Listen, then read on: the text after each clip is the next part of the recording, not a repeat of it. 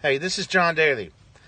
And as a leader and a champion, I have seen the incredible growth the Quapaw tribe has experienced under the leadership of Chairman John Berrey. Please keep the phenomenal growth and protect the financial security of Arkansas, First People, and vote for John Berrey for chairman. Johnny, I love you. I hope you win, buddy. Take care.